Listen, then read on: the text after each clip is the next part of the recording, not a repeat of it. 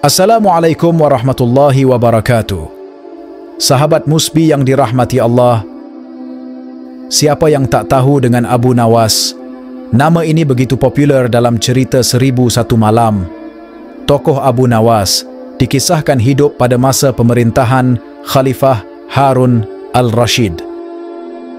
Dalam sejarah Islam, pada masa Harun al-Rashid inilah ilmu pengetahuan sangat berkembang pesat tak hanya melahirkan banyak ilmuwan besar, pada masa ini juga muncul nama-nama pujangga dan penyair dengan karyanya yang populer hingga kini.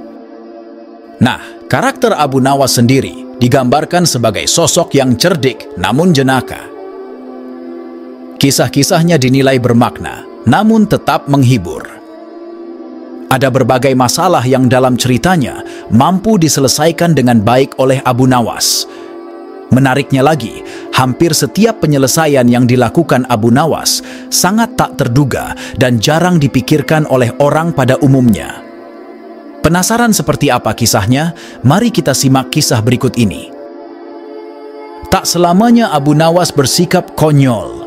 Kadang-kadang timbul kedalaman hatinya yang merupakan bukti kesufian dirinya – Bila sedang dalam kesempatan mengajar, ia akan memberikan jawaban-jawaban yang berbobot, sekalipun ia tetap menyampaikannya dengan ringan. Al-Kisah Abu Nawas menerima tiga orang tamu yang mengajukan pertanyaan yang sama dan dalam waktu yang sama kepada Abu Nawas. Manakah yang lebih utama, orang yang mengerjakan dosa-dosa besar atau orang yang mengerjakan dosa-dosa kecil? Tanya orang yang pertama. Orang yang mengerjakan dosa kecil, jawab Abu Nawas. Mengapa begitu? Orang pertama mendesak.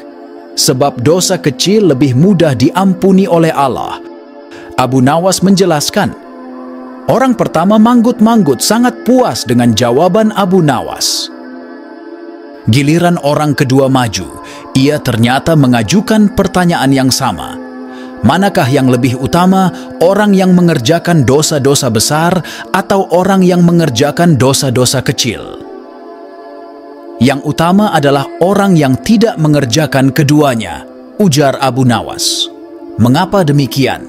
Tanya orang kedua lagi. Dengan tidak mengerjakan keduanya, tentu pengampunan Allah sudah tidak diperlukan lagi, jawab Abu Nawas dengan santai. Orang kedua itu pun manggut-manggut puas menerima jawaban Abu Nawas.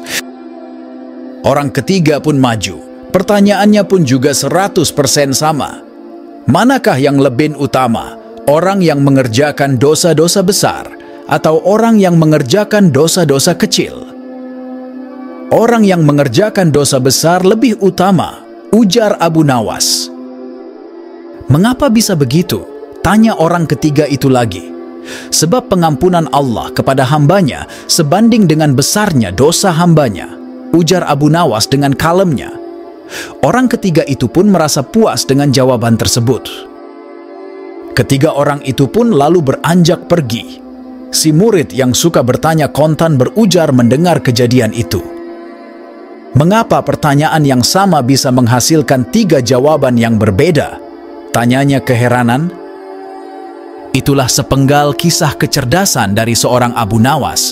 Beliau dapat menjawab pertanyaan yang sama dengan tiga jawaban yang berbeda, tapi ketiga jawabannya sangat memuaskan dan masuk akal. Semoga kisah Abu Nawas ini bisa menjadi pelajaran untuk kita semua. Wallahu alam bisyawab. Wassalamualaikum warahmatullahi wabarakatuh.